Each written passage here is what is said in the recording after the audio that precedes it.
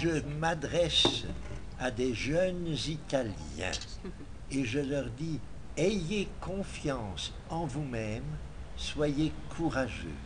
Les problèmes devant vous peuvent être réglés par une véritable démocratie dans laquelle le peuple est en liaison constructive avec ses dirigeants.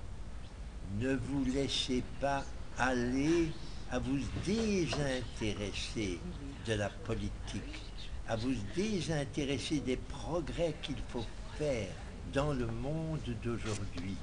Un monde fragile qu'il faut préserver de ses dangers.